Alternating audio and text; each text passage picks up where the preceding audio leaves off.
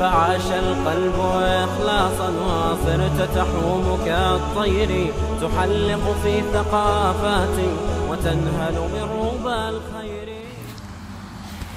بسم الله الرحمن الرحيم الحمد لله والصلاة والسلام على رسول الله وعلى آله وأصحابه أجمعين We always praise Allah subhanahu wa ta'ala, send blessings and salutations upon Muhammad sallallahu alayhi wasallam, his household, his companions. May Allah bless them and bless every one of us. This beginning with the praise of Allah subhanahu wa ta'ala and the sending of blessings and salutations upon Muhammad sallallahu alayhi wasallam and the blessed household, we as mu'mineen and believers will never tire, we will never become tired of praising Allah and sending these blessings because in actual fact it elevates our own status it is an honor to be able to do this and therefore we should always take our time when it comes to the praise of Allah and the praise of the Prophet ﷺ and these words that are filled with blessings for ourselves to begin with and then definitely for the Prophet ﷺ and his household and they are the highest in rank. May Allah subhanahu wa ta'ala grant us goodness and acceptance. This evening we commence from verse number 56 of Surah Al-An'am and we will see two or three different aspects of the tafsir where Allah subhanahu wa ta'ala is taking us back to the time of ignorance just when the Prophet ﷺ faced the people of Mecca with the guidance of Islam. The nur and the light with the truth is very clear. It just requires a sincere heart to notice it, to see it. And it requires the acceptance from Allah to be able to follow it. When we talk of hidayah, it's divided into two aspects. Number one is to be able to see the path and to be able to know what's right and wrong, to be guided to a path. That's number one. Number two is the ability to walk on that path. So the first one comes with an effort from you and I. It comes with an effort that has to be made within the capacity that Allah's given you and I. You question, you ask, you study, you learn, you continue asking. You have the young ones, sometimes they ask questions that are more and more complex as time passes. Don't get upset. They must keep on asking. They will look for answers, and a day will come when they will realize what the light is. Then, in the hands of Allah, is whether you're going to walk on it or not. How many of us we know what is halal and haram, but still we do the haram? May Allah subhanahu wa ta'ala grant us the ability to walk on that or to tread the path that is beautiful and pleasing to Allah subhanahu wa ta'ala. So at that time, there was a discussion that happened between the Prophet ﷺ and those whom he was calling towards goodness. Let's fast forward to today. We call people towards goodness. Number one, we should make sure that we are a part of that goodness. We call people towards goodness, it should be done in the most respectful way. One of the reasons of our downfall, we become vulgar, we become impatient, we become arrogant in the way we come across. And this is something we all need to work on. Every one of us needs to develop when it comes to how to address those who disagree with you, those who hate you, they dislike you, they don't even want what you are trying to give them. And the most important thing to give them is the guidance of the deen of Allah. The goodness, the development of the relationship with Allah is what we're trying to not only adopt ourselves but even give to others. So it needs to be done in the most respectful way. Today, when people say a word against the Prophet, ﷺ, we feel hurt, and rightfully so. But that hurt should not lead us to hooliganism it should not lead us to become people who prove to those who have been saying that these people are hooligans that they are right. May Allah subhanahu wa ta'ala protect us from this. At the time of the Prophet ﷺ, something worse happened, and that was in person they attacked him. In person they were vulgar, not, not behind his back, in front of him. They did things, they threw things at him, they threw stones at him. Subhanallah. If you look at how he reacted, it would show how far we are when we react. So, the reason I start with this introduction is look at the beauty of the discussion between Muhammad sallallahu taught by Allah, instructed by Allah subhanahu wa ta'ala, with those whom he totally disagrees with, completely. Those who attacked him, the likes of Abu Jahl, the, like, the likes of Al Akhnas ibn Shuraiq, and the others. At a certain time, Abu Sufyan as well. So Allah says, verse number 56 of Surah Al-An'am, قل say O Muhammad صلى الله عليه وسلم إني نهيت أن أعبد الذين تدعون من دون الله Tell them with utmost respect that I have been prohibited from worshipping that which you are calling out to besides Allah. Look at how respectful it is. He didn't go out and start calling them big, big names and swearing them and telling them off because the idea was if we can win these people over, it would obviously be a bonus and a blessing. It is something that would result in our own benefit. You see, if someone were to sell you a property at a price that you know this is a bargain, you would be excited, you would want the deal, and you would talk to them, and they would be back and forth, and you would be able to perhaps, you know, smile at the end of the deal and say, you know, I gained on this one. What would it bring back for you? Perhaps a rental, perhaps maybe increase in value after a period of time, and you're going to sell it, some form of benefit. Wallahi, the hadith says if Allah uses you to guide a single person, it is better for you than humrin na'am, which means the most expensive conveyance at the time, red camel. So the deal that you are supposed to be more excited about is when someone who's astray, away, filled with hate, filled with whatever else, has come closer to Allah subhanahu wa ta'ala as a result of an effort that Allah allowed you to make. That is something great. So the respect. He says to them, I have been prohibited from worshipping that which you are calling out to besides Allah subhanahu wa ta'ala. قُلْ لَا أَتَّبِعُ أَهْوَاءَكُمْ Tell them, I'm not going to follow your desires. I'm not going to follow your whims, your fancies, that which you are in doubt of yourself. Why should I follow it? You see, why should I follow something that you yourself are doubting when I am convinced that what I have is the truth? But look at how respectful the discussion is. He didn't slap them on the face, he didn't beat them up, he didn't swear them, but he was respectful. لا أتبع أهواءكم. Why wouldn't I follow your ideas? You know why? They come from your own mind. They are actually misguided. قَدْ ضَلَلْتُ إِذًا If I did that, if I followed you and what you yourself are doubting, I am misguided. I would be, in that case, misguided.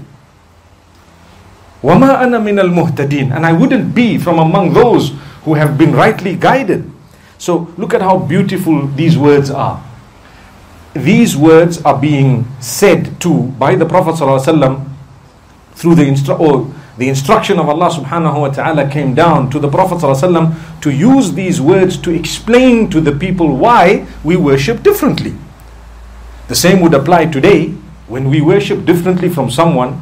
We don't need to become vulgar. We don't need to become filled with hate in the sense that it, our speech is filled with hate. Yes, we dislike the deed, definitely. But as for the person, we have hope. The Prophet ﷺ made dua, he prayed and supplicated for the enemies of Islam to the degree that many of them came across period of time. When you make a dua to Allah, in a few moments we will see what happens. So this is the uh, teaching of Allah subhanahu wa ta'ala. What beautiful words are being taught by the Prophet ﷺ when he used these words. Who are we to use vulgar words? Who are we who claim to be the lovers of the Prophet ﷺ, who claim to be those who follow the Prophet ﷺ, but the language we use is cheap, even when we don't really have a big disagreement with someone. This is massive disagreement. But I'm talking about my character and all of us who need a reminder. Let's refine it. Let's become better people.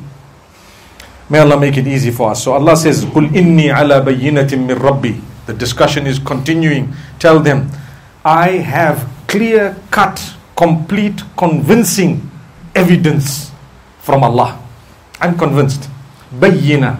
I have that which is manifest, clear, convincing from my Lord. And I'm upon it. I'm following it. I'm following that which is absolutely correct. I've no doubt. وَكَذَّبْتُمْ bihi. As for you guys, you have belied it. You have disagreed. You have not followed it. Ma indi ma tasta'jiluna bih. Before I translate that, let me tell you. You see, when people get into a fight, what happens? One man tells the other, hit me, let's see, what you gonna do? Hit me. I'm sure we've seen this, we've heard about it. Now, sometimes a person might just look and laugh and walk away. What does he say? Allah will fix you. Have you heard that? It's said a lot. May Allah bless every one of us and grant us the softening of the heart. Amen.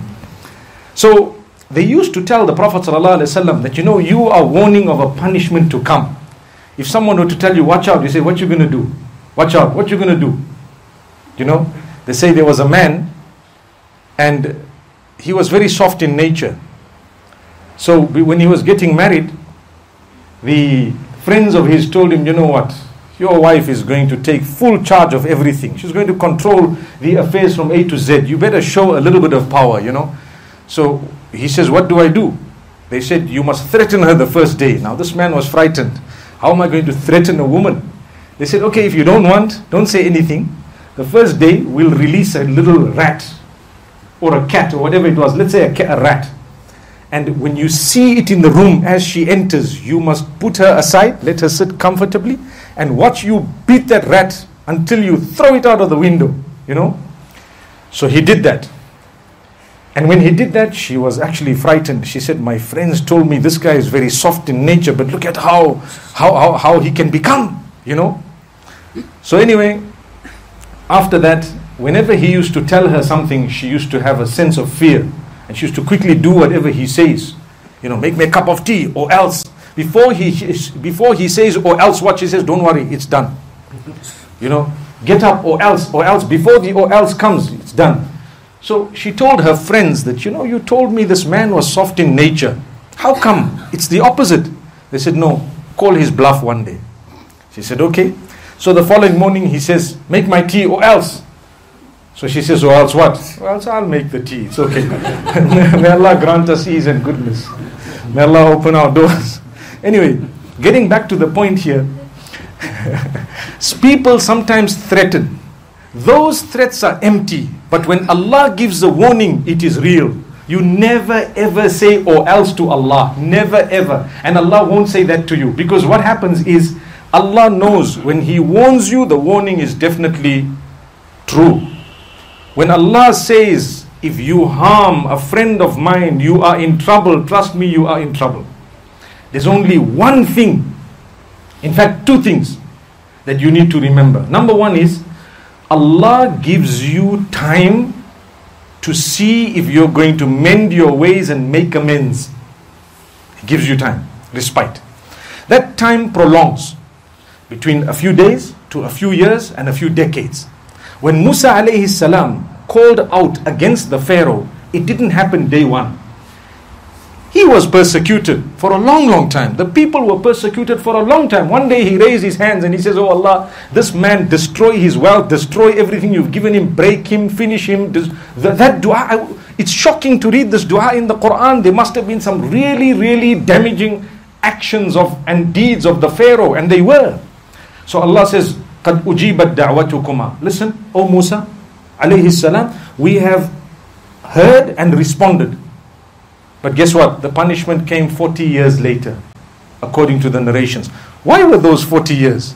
Same applies to Nuh alayhi salam. He made a dua against his people at a certain point, not initially. The friends of Allah, they don't make a dua. You know, you, you heard someone, you did something, they don't, they excuse you. But there comes a point where there's a limit for things. You cannot keep on doing things. I'm sure you've heard of the three men who were considered very pious sitting in the front of the masjid and the young guys were told these guys are so pious, they are actually on another level of character. No matter what you do, they will forgive. They are very forgiving. They won't even notice. They're involved in their dhikr. So the young boy decides, you know, I, am a bit of a big guy. Let me check. He goes to the first man who he was told is the third of the three. he says, he, he, he tried to attract him, his attention and he couldn't. This man was busy in his dhikr. So he slapped the man and the man remained and he continued in his dhikr as though nothing happened. Subhanallah, what a pious man. What a pious guy. Right?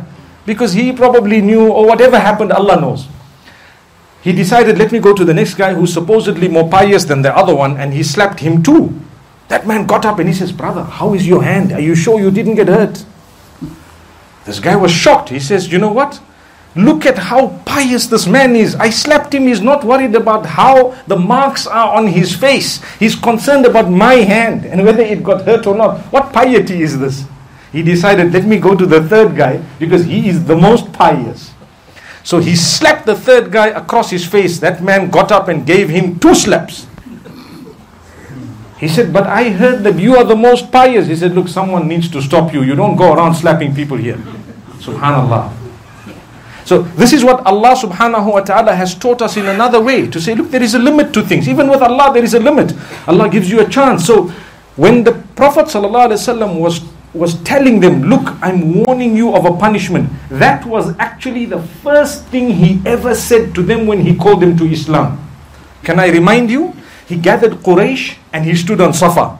And he says, Oh Quraysh, if I were to tell you that behind me there is an army coming to attack, would you believe? They said, We've never known you to have uttered a single lie. Why would you be lying? Then he says, I'm warning you of the severe punishment if you don't change your ways and habits. They said, You're a liar. Astaghfirullah. Astaghfirullah. And then when he, it irritated them, so they kept telling him, Where's that punishment? We haven't yet listened to you. Where's the punishment?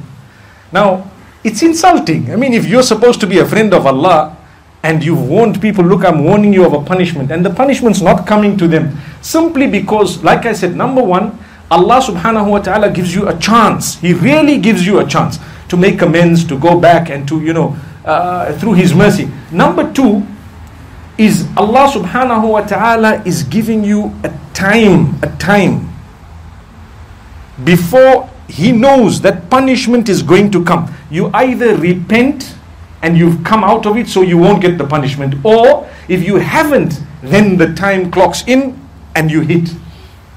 And when you hit, nothing will stop it. At that juncture, it's too late.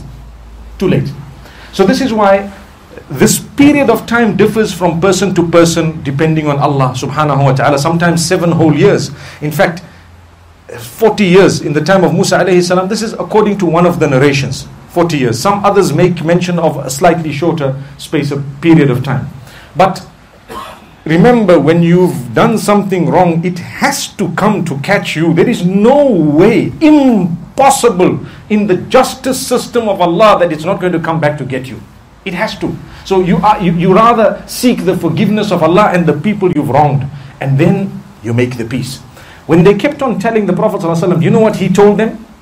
Allah says, Tell them, Ma indi ma tasta'jiluna bih. That which you are impatient regarding, I don't have it. Allah has it. That which you are you keep on telling me, where is it? Where's the punishment? And this was not only him. All the prophets of Allah, most of them, the Quran says they were told by their people, where's that punishment? Yeah, you're talking of the punishment. Look, you becoming poorer and poorer, downtrodden. We are the ones who are haughty. That's what the Firaun kept on saying. That's what Qarun kept on saying. But Allah says, hang on. When, you know, when the whip of Allah strikes, doesn't make a sound.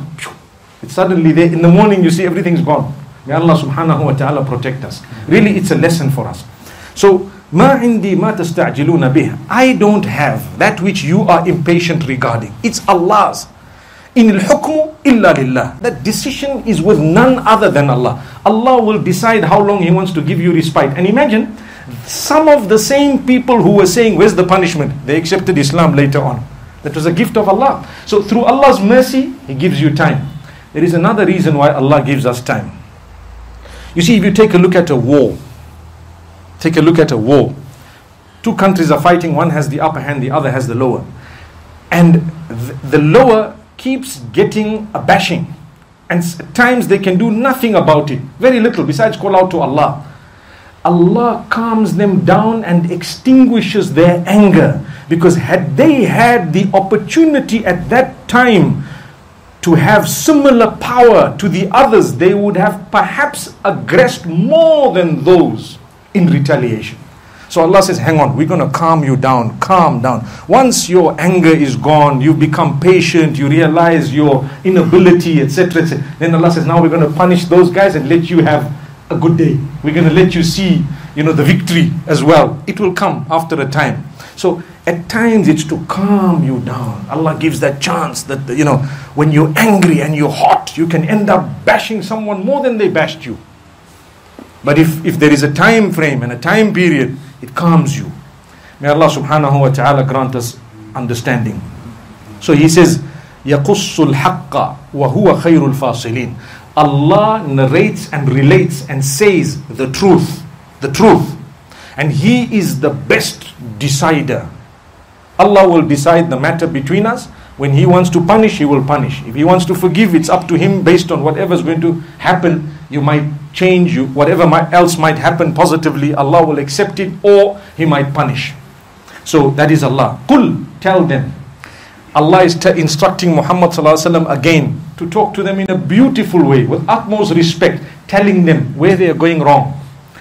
لو أن عندي ما تستعجلون به لقضي الأمر بيني وبينكم If I had that which you are impatient regarding, meaning if I owned the ability to punish you right now, the matter between you and I would have been decided a long time ago. There would have been a clear winner right now, right here.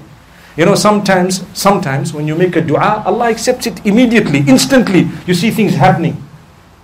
Sometimes you make a dua, Allah has heard it, He has perhaps accepted it, but when the timing is right, He's going to let it be released. Perhaps if it's a dua against an oppressor, it will be unleashed. Against an oppressor, the hadith says Allah subhanahu wa ta'ala has no barrier between him and that dua. So Muhammad says, if I had it, if I owned it, the matter between us would have been resolved, solved. That's not belief in the unseen. Because if someone says, look, you have to believe that you have a maker, you have to believe that there are angels, you have to believe that there, uh, that there is Jannah and Jahannam, heaven and hell. You, and if people say, well, uh, show it to us, and then you show them an angel, and you show them heaven, and you show them hell, and you show them. If that was the case, what's there in saying you have to believe? We saw it and we, we took it. We saw it. But when you haven't seen it, that's belief. So Allah, He is saying, Muhammad is saying, if I had what you wanted and what you actually asked for and what you're impatient regarding, the matter would have been resolved. And Allah subhanahu wa ta'ala you know, uh, the matter between us would have been resolved, and Allah knows best who is the wrongdoer. Wallahu a'lamu bil zalimin. Now we move on to other verses where Muhammad is makes mention of something known as the keys of the unseen. Why speaking about the unseen? Because the whole debate with the mushrikeen of Makkah was about the unseen. And then they started asking Muhammad so many things the, the, the, the books of Sirah and the Ahadith are filled with where the mushrikeen of Makkah raised objection upon objection, telling him, We want you to do this, we want you to do that, we want you to do. That. They challenged him with so many things. A lot of these challenges are part and parcel of what is being mentioned in these verses. To say, you know what? We want you to do this for us. If it is, uh, if really what you brought is the truth, then we want you to split the moon for us, and so on. A time came when that happened. And then they didn't believe it. So Allah subhanahu wa ta'ala says, وَعِنْدَهُ مَفَاتِحُ الْغَيْبِ As for the unseen, Allah has the keys of the unseen. لَا يَعْلَمُهَا إِلَّا هُ Certain things He alone has kept the knowledge of. Alone. وَيَعْلَمُ مَا فِي الْبَرِّ وَالْبَحْرِ He knows that which is on earth, meaning at land and at sea. Allah knows it all. He knows absolutely everything. وَمَا تَسْقُطُ مِنْ وَرَقَةٍ إِلَّا يَعْلَمُهَا Not a leaf anywhere across the globe from any one of the trees from east to west and north to south. Not a leaf falls down except that Allah knows about it. He knows it. وَمَا تَسْقُطُ مِنْ وَرَقَةٍ إِلَّا يَعْلَمُهَا Not that a leaf is too big. Allah says, وَلَا حَبَّةٍ فِي ظُلُمَاتِ الْأَرْضِ not even a grain a little seed in the darkness of the earth, except Allah knows. Now, the question we need to ask ourselves if Allah knows those small items, do you really think He's forgotten you and I? And I always say, if Allah has taken it upon Himself to provide for the ant, I'm bigger than an ant. Subhanallah. He knows me and He knows you, and He will give you and provide for you. You have to develop your relationship with Allah. There's no other way. And if you develop your relationship with Allah, He'll give you contentment. Allah has apportioned for everyone a certain amount. He'll give you that amount, not a drop more, not less. But the blessing in it will be determined by your relationship with Him. So then he continues. Look how he started off with the example of the leaf. Then he went smaller than a leaf by saying the little seed or the grain. And he went smaller than that by saying wala ratbin, wala, ya, wala ratbin. Not even the moisture. What is moisture? Moisture, the moisture Allah knows. The moisture in the soil and wherever else, and the humidity Allah knows it. So that's smaller than, that is smaller than this grain we're talking about. And then Allah takes it one, one higher, which make, it makes it even smaller. Wala yabisin. Not even the dryness of it, the absence of the humidity, we record it. The absence of it. Of what? Of the humidity. Wala ratbin wala.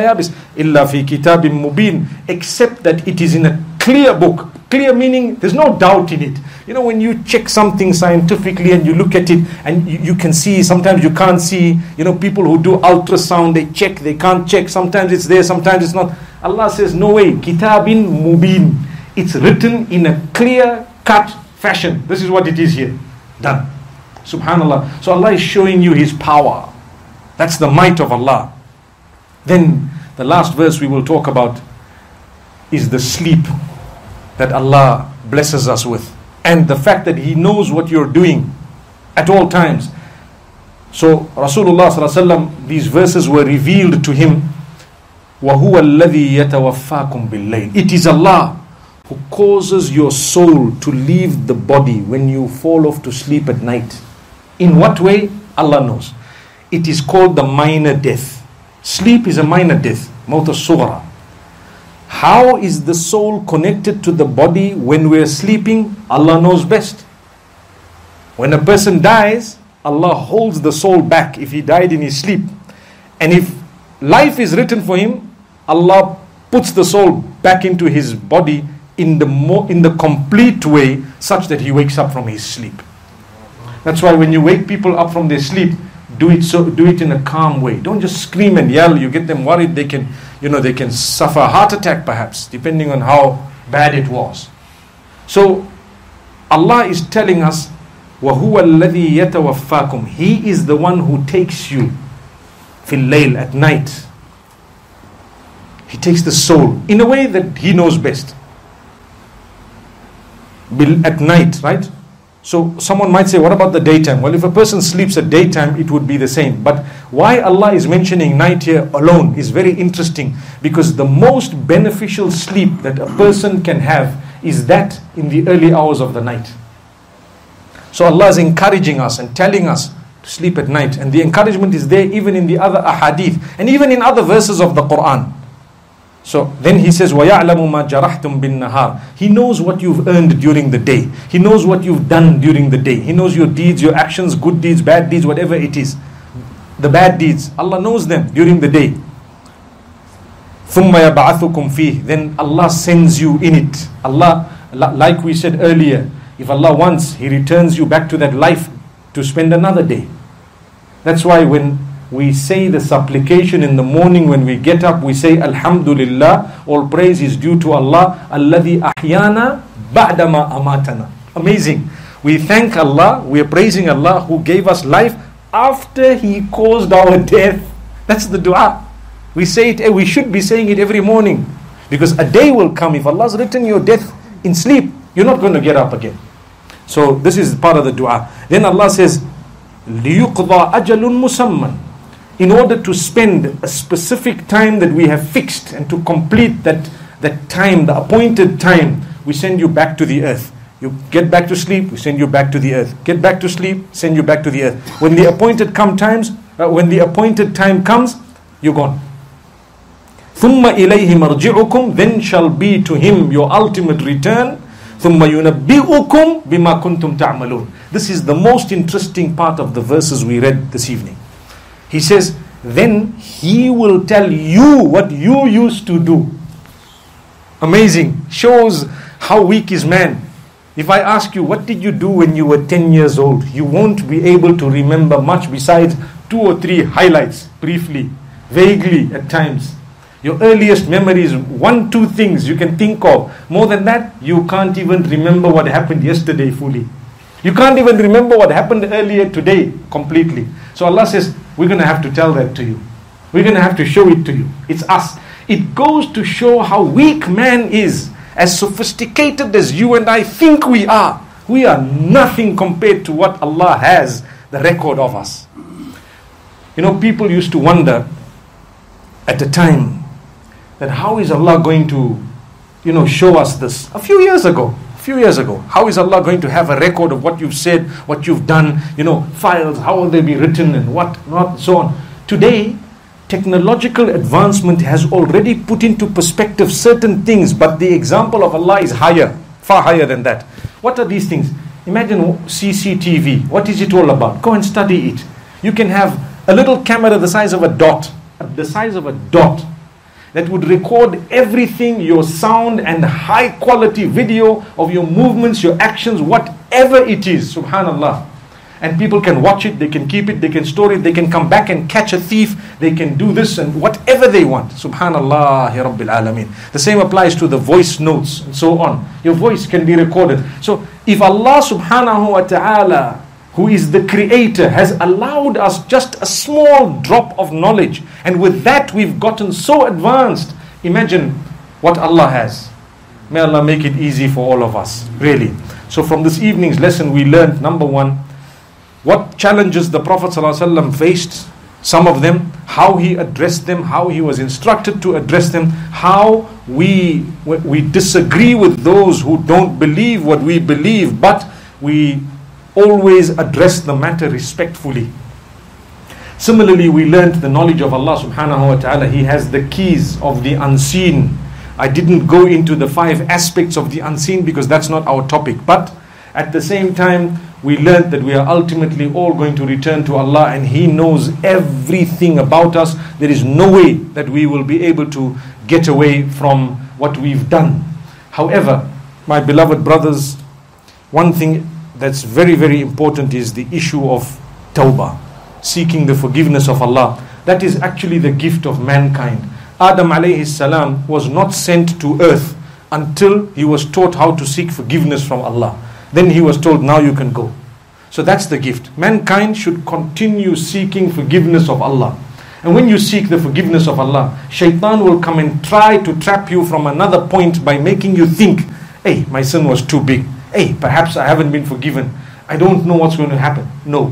When you lose that hope in the mercy of Allah, you've actually weakened your faith in Allah. When He says, do not lose hope in my mercy, we should hang on to that verse and we should be, be very hopeful in the mercy of Allah subhanahu wa ta'ala. No matter what we've done, there's always the time for us to make amends before the punishment overtakes any one of us. May Allah not let that happen. أقول قولي هذا وصلى الله وسلم وبارك على نبينا محمد سبحان الله وبحمده سبحانك اللهم وبحمدك نشهد أن لا إله إلا أنت نستغفرك ونتوب إليك